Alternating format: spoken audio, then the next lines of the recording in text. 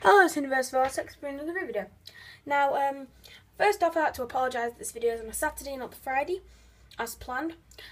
Um, both um, were meant to be on Friday, but as I said, as a lead up to the Series 8 uh, box set review video, but um, just having a few technical problems with YouTube, so they will, they'll, so Series 4, 3 and 4 will be on Friday as planned, hopefully. Okay, um, let's get started. Doctor Who logo here with the complete second series there. Age rate which is a 12 plus the little DVD thing there, no idea what that is. This is a little slip case that just pulls off and everything is the same thing. This just slips off and it has this. Now this is probably one of my favourite box sets because on the back, I mean it has a little 3D effect, not the best thing ever. This one's quite good. Wow, look at that. You have a normal Cyberman and a Dalek, and you turn it and you see the bones, the exoskeleton, if you like.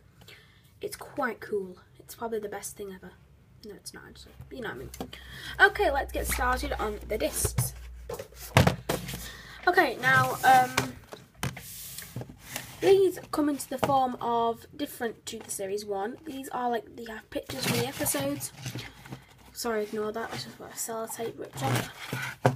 They have they have kind of um, pictures from the different episodes, kind of just get you like all into the mood of it.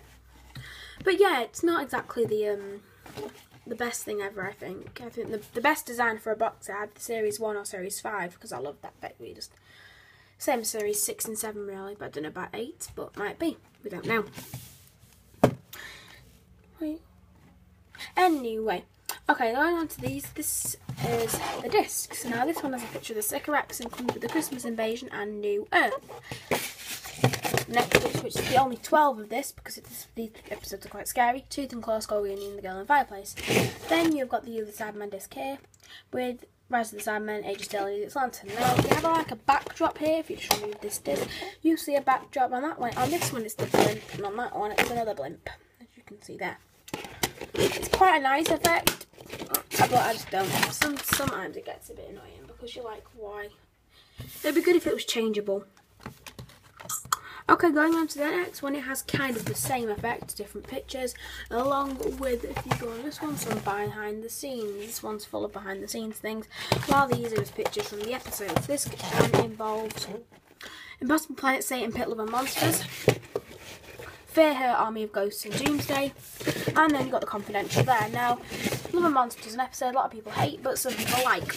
I am in the thing that actually quite like it. It's not the best episode ever, I know that. But it is, I think it's a good episode. The worst episode in here, I think, is Fear Her. I hate it. It's, it's terrible. It's one of my worst ones ever. It's just horrible. Look. Again, like the Cyberman one, if you just pull the disc off, it's Dalek. Nice. So yeah, that is basically the Series 2 set. Now, Series 2 isn't the best series of New Who, I can verify that. I think one of the best ones out ah, this, out of this in Series 1, the best box set design is obviously, for me, Series 1. Thank you for watching, this has been Whoniverse Vortex. Join me next video, probably the next video, which is on Friday, for the box set reviews of Series 3 and Series 4. Make sure to subscribe for more videos. Goodbye.